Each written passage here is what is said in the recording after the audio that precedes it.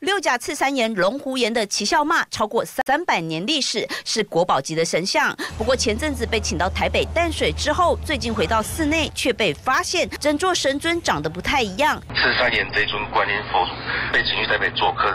回来之后就变这样子。我们找到奇孝骂神尊的原貌跟被请回来之后的做对比，之前面貌是百年的烟熏色泽，如今变成不自然的暗黑色。脸庞之前很浮相，现在也感觉到明显消瘦，下巴都尖了，五官、眼睛、嘴巴都有落差，脸部还有脱落的痕迹。修复师一度怀疑被调包了，感感觉到很惋惜，也很。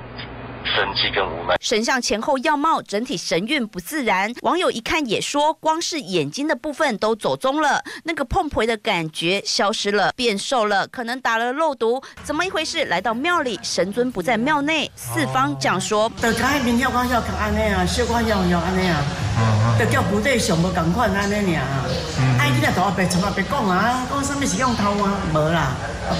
四方否认被调包，但看在修复师眼里，认为是被请走之后，对方为方便三 D 扫描涂抹不当的药剂后造成的。他要去清除的时候，没办法清除，导致他要用那个。